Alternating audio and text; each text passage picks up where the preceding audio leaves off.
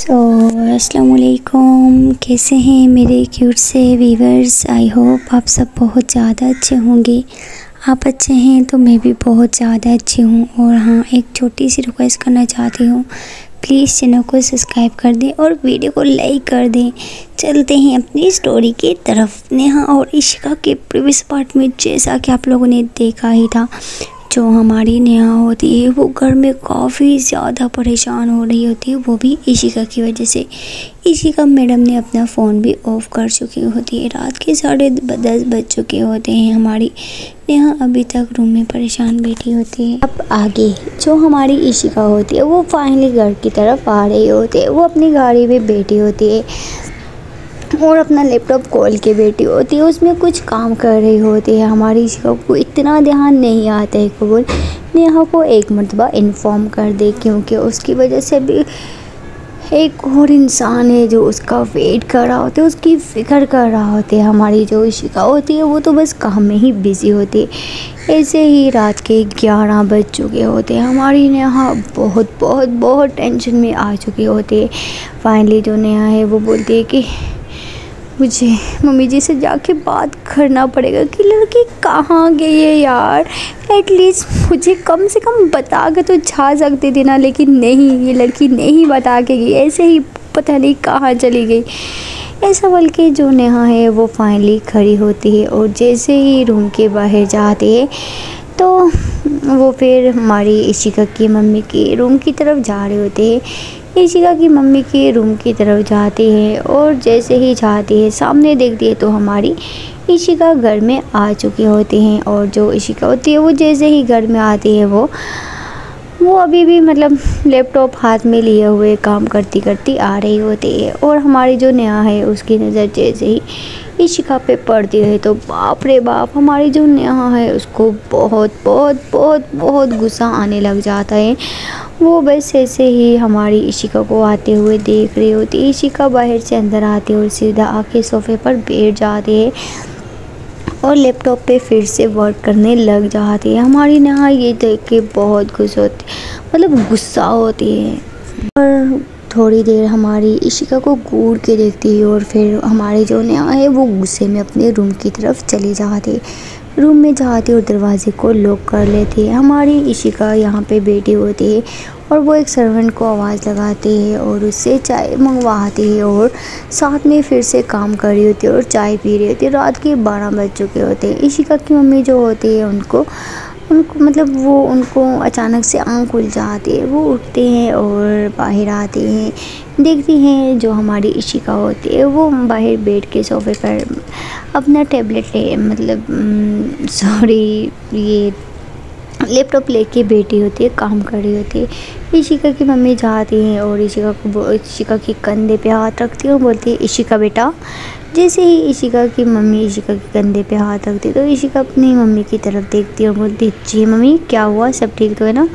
जिस पे इशिका की मम्मी थोड़ा सा इशिका के ऊपर गुस्सा करती है और बोलती बेटा, रात हो चुकी है, रात के बारह बज चुके हैं।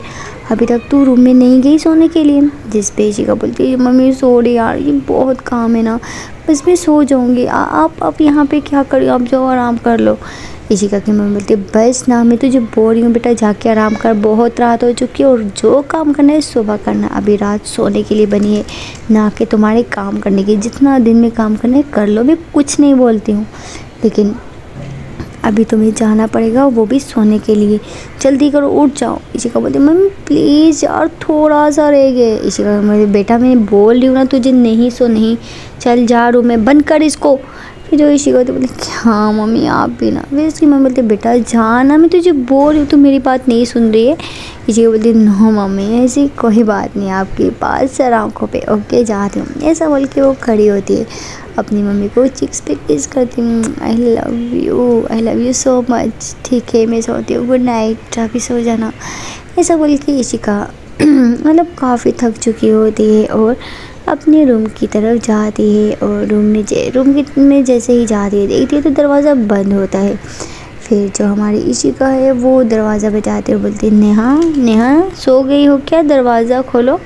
फिर जो नेहा होती है, वो अंदर नहीं सोई होती है, वो अभी तक हमारी इशिका का वेट ही कर रही होती है। वो बहुत गुस्सा होती है, बहुत बहुत बहुत ज़्यादा गुस्सा। वो अंदर भी कुछ नहीं बोलती। है इशिका दो तीन मरतबा ऐसे ही दस्तक देती है और आवाज़ देती है, बट नेहा दरवाज़ा नहीं खोलती। इशिका बोलती है यार, मुझे लगता है सो गई है। छोड़ो डिस्टर्ब नहीं करती हूँ। मैं कहीं और जगह पे जाके सो जाती हूँ।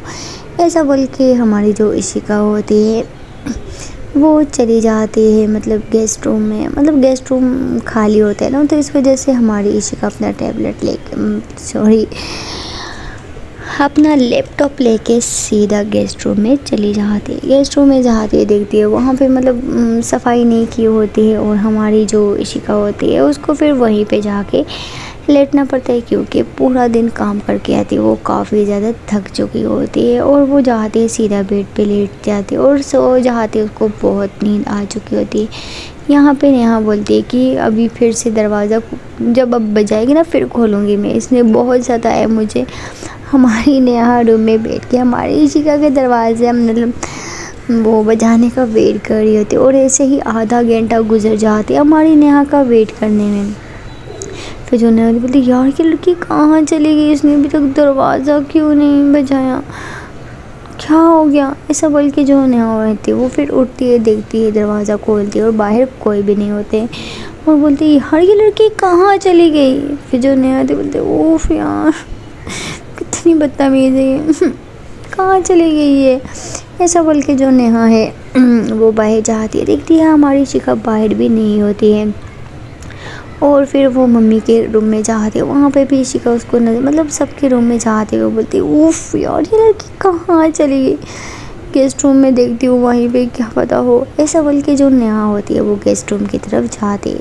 गेस्ट रूम में जाती है, देखती है बेड पे मतलब बेड पे जैसे ही उसकी नज़र पड़ती है, देखती है तो इसी का बेड पे सो रही होती है। वहाँ पे मतलब हमारी मतलब कचरा वगैरह होता है और वहाँ पे सोता हुआ देख के हमारी ना को बहुत बुरा लगता है। लेकिन उसको गुस्सा भी आता है कि यार, इसने पूरा दिन ये कहीं पे गेप थी इसने मुझे बिल्कुल सिंगल कॉल कुछ भी नहीं किया। वो गुस्से के मारे अंदर जाती है और इशिका के बेड के पास खड़ी हो जाती है। जैसे इशिका के बेड के पास खड़ी होती है, देखती तो इशिका सो रही होती है। हमारी नेहा उसको सोता हुआ देखती है और उसको मतलब इशिका पे बहुत प्यार आते हैं और फिर बोलती है, नहीं, कि ज़िद्दी है ना, मैं इससे बढ़ के ज़िद्दी हूँ। हमारी नेहा जो है, वो हमारी इशिका के साथ में एक सरहाना पड़ा होता है, वो उठाती है और ज़मीन पे रख देती है। जी हाँ हमारी नेहा ज़मीन पे रखती है और हमारी नेहा ज़मीन पर ही लेट जाती है। जी हाँ। हमारी क्यूट सी प्रिंसेस इतनी खूबसूरत, जिसने आज तक कभी भी ज़मीन पे नहीं लेटा होते और आज हमारी जो नया होती है, वो ज़मीन पे ही लेट जाती है और उसको पहले पहले तो उसको नींद नहीं आ रही होती है, वो हमारी इशिका के फेस की तरफ़ देख रही थी और इशिका को देखते देखते कब उसकी आँख लग जाती है, पता ही नहीं चलता है। ये दोनों सो चुकी होती हैं, हमारी जो नया होती है वो ज़मीन पे लेटी होती है। मॉर्निंग हो जाती है हमारी जो इशिका होती है। जैसे कि आपको पता है, हमारी इशिका को सुबह मॉर्निंग में उठने की मतलब जल्दी उठने की आदत होती है। रोज़ की तरह हमारी जो इशिका होती है, वो उठती है और जैसे ही वो उठती है तो मतलब उठती है, बैठती है और अंगड़ाई लेती बोलती भगवान। उठ जाओ यार ऑफ़िस भी जाना है। वो उठते हैं और जैसे ही वो बेड से नीचे उतरती है और जैसे ही वो नीचे उतरती है तो वो अपने सामने का नज़ारा देख के बहुत शौक रह जाती बोलती ये यहाँ पे क्या कर रही है फिर जो इशिका है, वो नीचे उतरती है और नेहा के पास जाती है। और बोलती नेहा नेहा नेहा नेहा, वो उसको उठाती है लेकिन नेहा नहीं उठती है। इशिका बोलती है, नेहा, जान बच्चा, क्या हो गया? अब यहाँ पे क्यों सो रही जान, नेहा।